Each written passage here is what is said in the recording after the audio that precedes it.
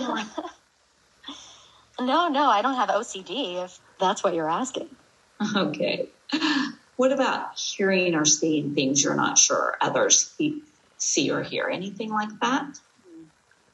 Um, not right now. Uh, it's been a couple of months since that happened. Sometimes when I'm not sleeping good, I hear voices telling me how great and wonderfully talented I am. Okay, so but no voices right now. Good. Um, what about your appetite? How's your appetite? Well, when I'm really creative, I'm too busy to eat. And when I'm crashing and resting, I eat everything in sight. Okay. So, um, what about your sleep? On average, how much time do you think you sleep in a whole 24 hour period? And do you have any bad dreams? Um, no bad dreams.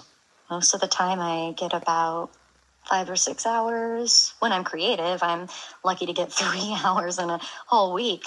Um, and when I'm crashed, I sleep about 12 or 16 hours a day. Okay, wonderful.